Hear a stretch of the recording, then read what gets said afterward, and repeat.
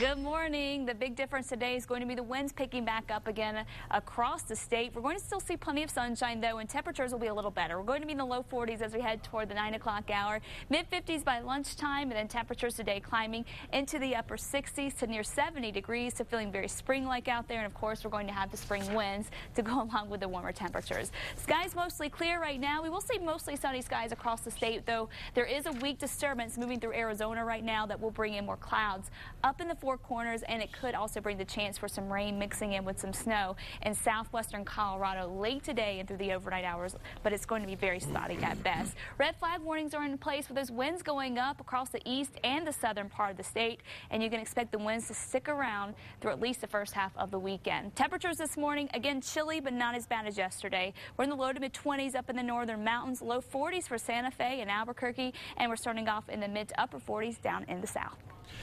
Libya tops our updated morning news blitz. NATO ships are patrolling off Libya's coast as U.S.-led coalition forces carry out airstrikes over Tripoli. Explosions could be heard this morning in the capital. NATO forces say an improvised explosive device has killed two of its service members in southern Afghanistan. There's no word on the nationalities of the dead. Calmer winds and rain have raised optimism about a nearly two square mile wildfire in the foothills west of Denver. The fire burning in Golden is about 25% contained.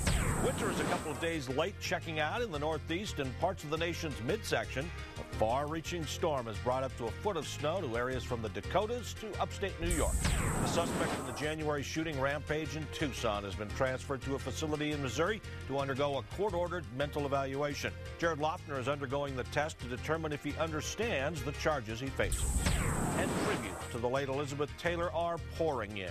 Former First Lady Nancy Reagan says Taylor was passionate and compassionate about everything, especially about the victims of AIDS. Taylor died yesterday at the age of 79. And those stories make up the News Blitz.